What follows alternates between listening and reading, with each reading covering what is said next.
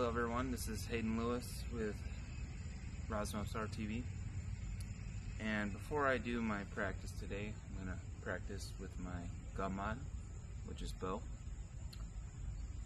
I just want to go over the importance of learning the terms in Persian, meaning like how and judo and karate, when you discuss techniques, you learn them in Japanese.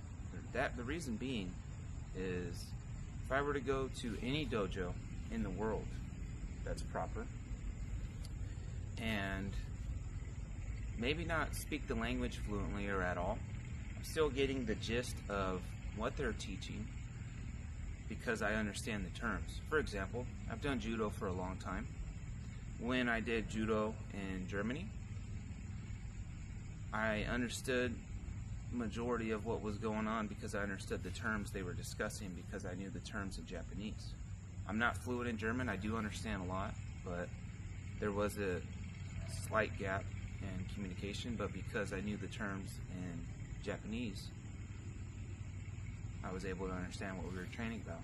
Um, and the same needs to be applied to Razmafzar. Um, new members and old members.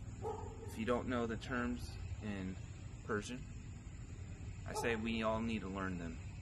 That way, when we do cross borders and there is a language gap, there, there, the terminology will be the same, and therefore there will be a communication through technique and the understanding of the terminology.